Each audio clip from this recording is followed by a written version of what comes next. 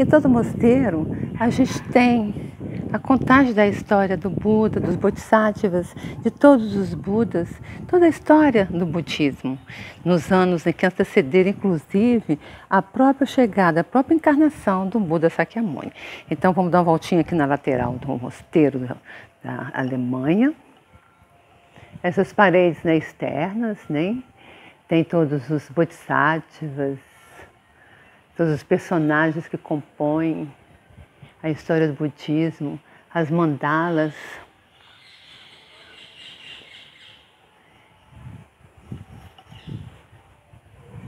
As deidades, essa tara, essa tara verde, Green Tara, uma emanação do Buda.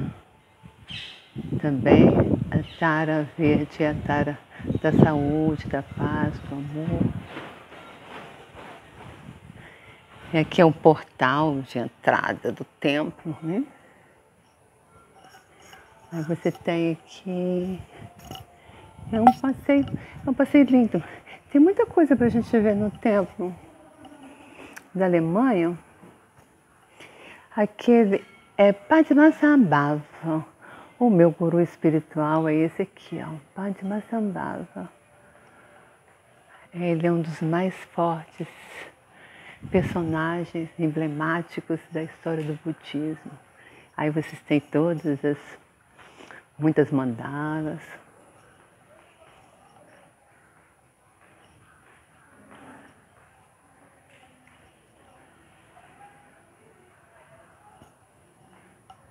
Essa escada, essa escada aqui atrás de mim, ela leva para o topo aqui do mosteiro. No topo tem um, um espaço dedicado, um altar dedicado ao Bodhisattva Jambalá, que tem uma mandala maravilhosa, linda, linda, linda, linda de morrer.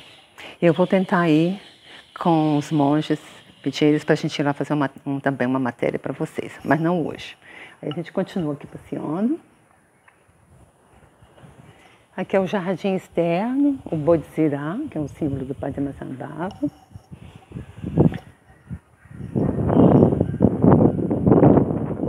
O templo é muito bem conservado, claro. Este é um Buda. Eu queria falar sobre esse. Esse aqui é, é um Buda de uma vida passada. Buda conta a história do budismo que ele, numa vida anterior à da Sakyamuni, ele estava na floresta e ele viu uma tigresa com os seus filhotes, estão aqui, as tigresas com os filhotes. E ela não tinha o que dar de alimentação para os filhotes.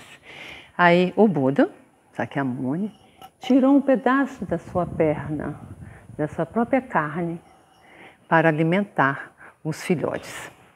E o mais importante dessa história, que a gente fica arrepiada, é porque contam que essa tigresa era a encarnação de Maya Devi, a mãe do Buda.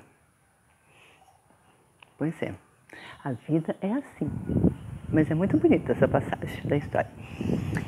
Aí aqui tem novos personagens, Budas, Bodhisattvas, muitos gurus da história, tá? De Padmasambhava. Também. Então, é isso. Lubini, os mosteiros de Lubini são muito assim, muito ricos, né? Muito de detalhes, porque o devoto do budismo, o seguidor do budismo, ele gosta disso, ele gosta da história, porque a história do budismo continua viva porque eles acreditam que o Buda continua vivo em todos nós. O budismo nos diz que nós temos que trabalhar o nosso interior para encontrar o Buda que existe dentro da gente. Todos temos um Buda dentro de nós. Ou seja, o Buda quer dizer a iluminação. Então, nós temos a luz dentro de nós. A gente só precisa trabalhar para encontrar. Sobre o trabalho, eu posso contar num outro momento. Até logo, namastê!